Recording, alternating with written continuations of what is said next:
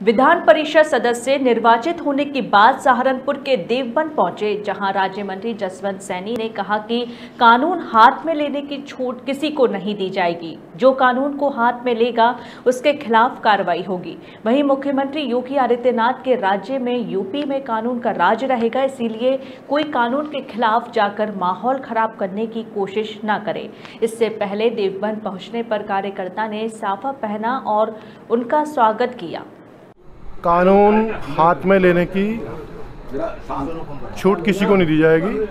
जो कानून के, हाथ में लेगा उसके खिलाफ कार्रवाई होगी हो भी नहीं। पूज्य योगी आदित्यनाथ जी महाराज के नेतृत्व में सरकार चल रही है और कानून का राज उत्तर प्रदेश के अंदर रहेगा और मैंने कहा है कानून को हाथ में लेने की छूट किसी को नहीं दी जाएगी।